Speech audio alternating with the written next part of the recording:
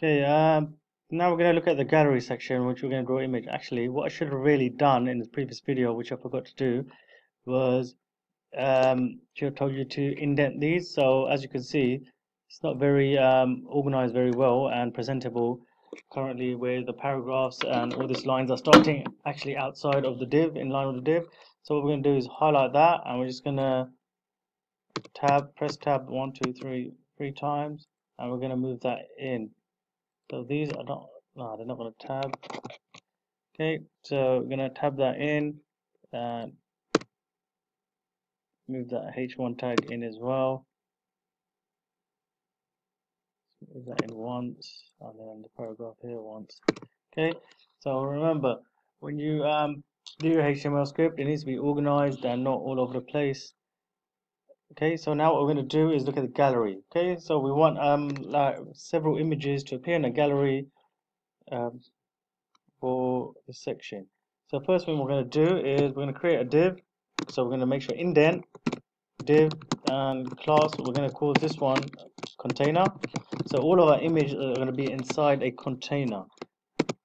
Okay, and we're going to close that off there. And then within that, what we're going to do is we're going to create a UL, which as we looked at previously stands for unordered list. Okay, so uh, if we know that it's an unordered list, it's followed by li, li. Okay, and that li is going to have a class, and that class is going to be called box. And then that's good. Oops.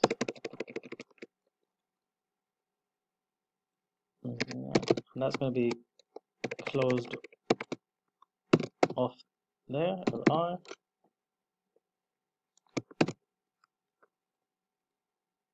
So we're going to put the speech mark there.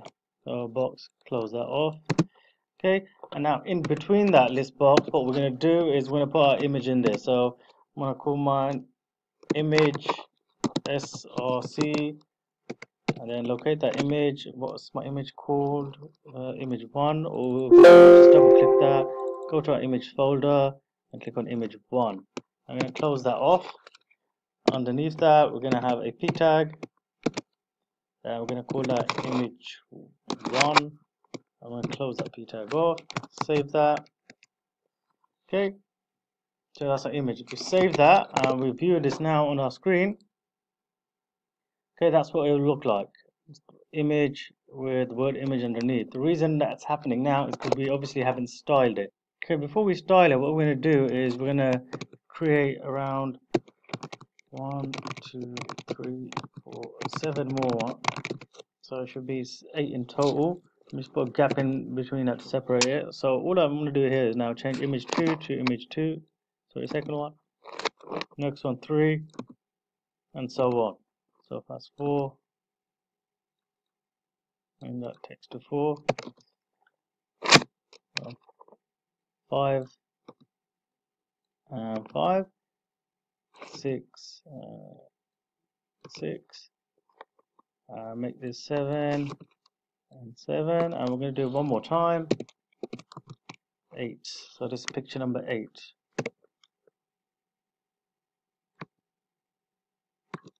eight. Finish the gaps. Okay, sort it out. Organize this properly.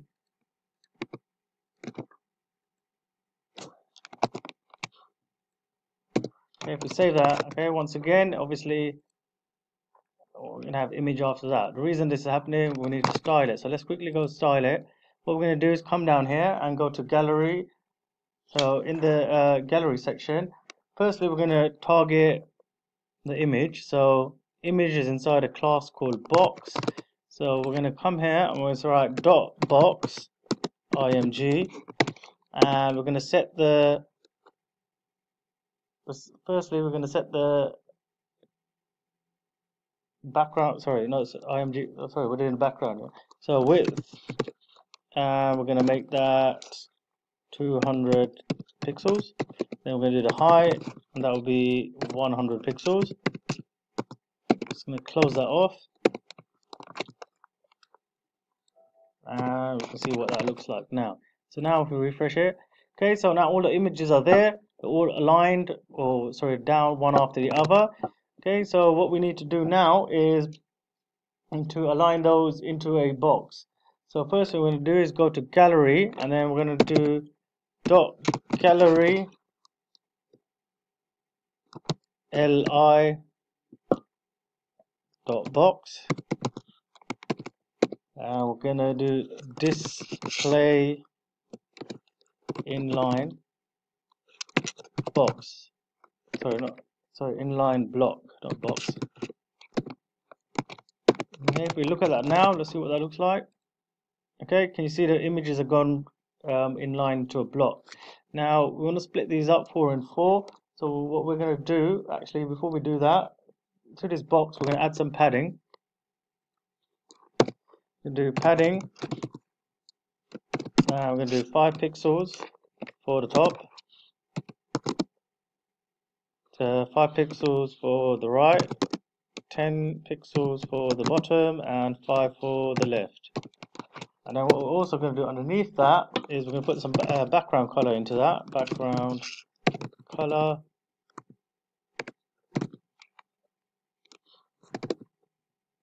Uh, we're going to background color. I'm just going to copy and paste that color there. Save that. Okay, let's see what it looks like now. Okay, now we've got these blocks. Can you see those blocks? Um, actually, we've got like little gallery frames there. I've never got one, two, five.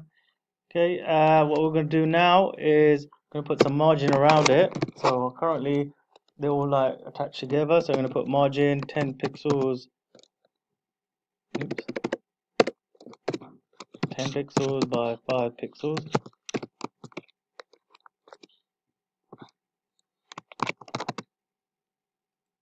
Okay, so now I spaced it out. Excellent. Look at that. It's starting to look um, much more presentable now. Uh, what we're also going to do is, firstly, uh, how many images have I got? One, two, I've got nine. Actually, I want to get rid of one of them. Go back to my code. Six, seven, eight. Let's just get rid of this one since it's repeated. Okay, so I've got eight there. What I'm going to do is put the, container now. Now what I can do with the container is style the container. So I'm going to come here, dot container.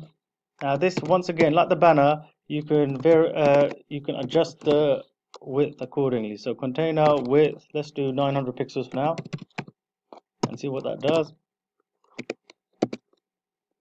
Close it off. Okay, can you see the container is now squashed up? Okay, we don't want 900. Let's make it 80% of whatever the width of the wrapper is. So 80%. Okay, they excellent, perfect. That's gone now into uh, four on four because it's made 80%. Now we want this to be in the center. So just like we've done previously with the wrapper where we did mar margin equals auto, we can do that with the container as well. Margin auto. So it'll automatically put it into the center of the div. Didn't work because I didn't put a semicolon there. Okay, excellent. So that, there we go. Now we've got our you know, margin around it. So now we've got our box. What we also need to do is, can we see these gaps between the two divs? The reason that's happening is because our UL, as you know, all um, HTML properties by default have their own um, custom styles. So obviously there's a margin around that one. So we're going to go to dot gallery, then UL, do margin, and then zero for the margin.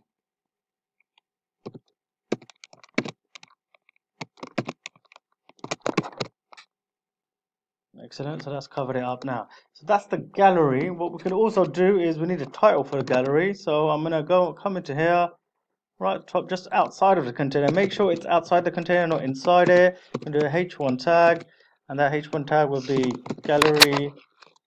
Close that tag off, save that.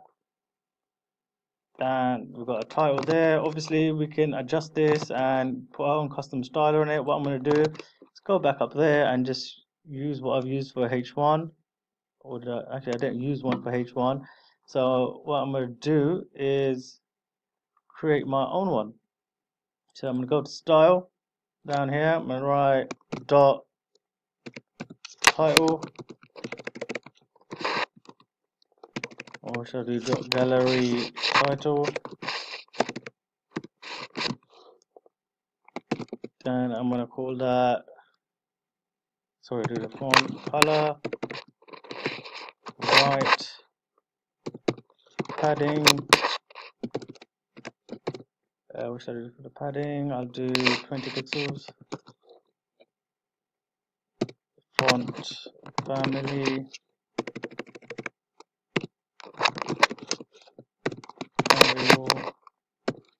Let's close that off.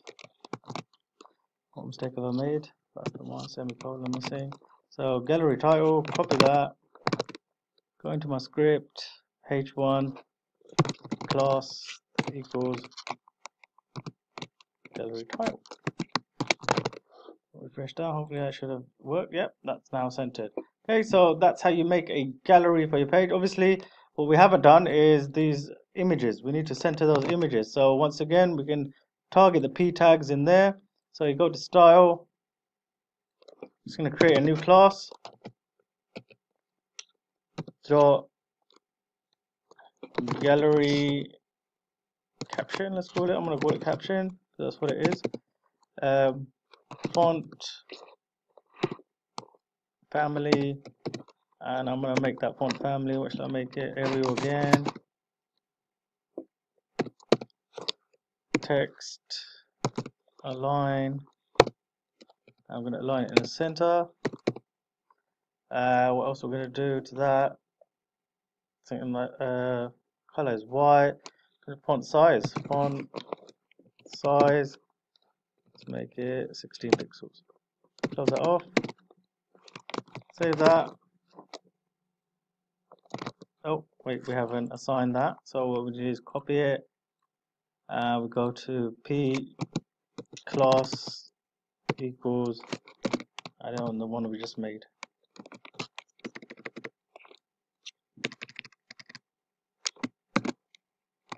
Save hopefully one of them should move. There you go. That's now moved to the center. Okay we can change the color as well. Color